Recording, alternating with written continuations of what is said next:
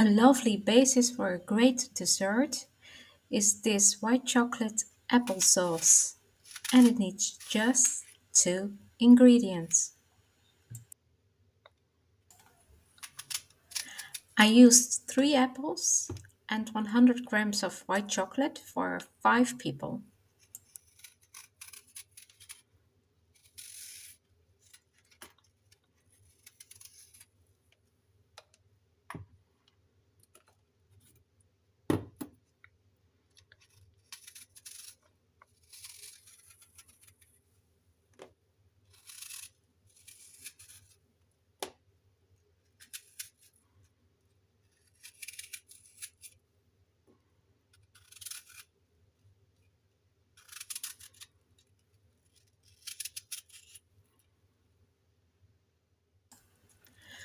I softened the apple chunks first by heating them up, but that's optional.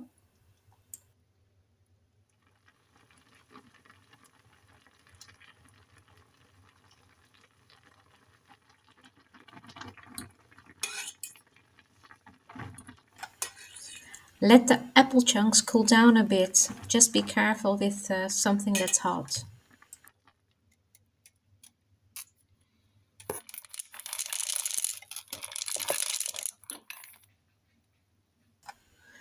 Smooth the chocolate and the apples in your smoothie maker until it's airy and bubbly.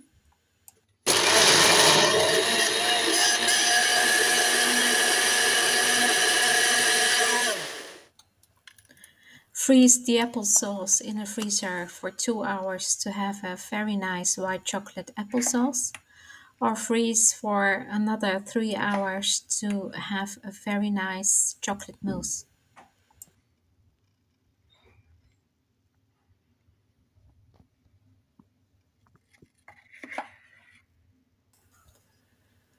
As a dessert, you could add cookies, chocolates, simple syrup, cream, anything you like to make it even more beautiful and lovely.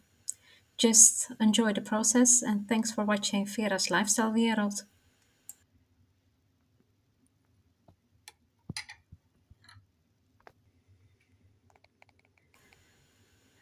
Don't forget to like and subscribe.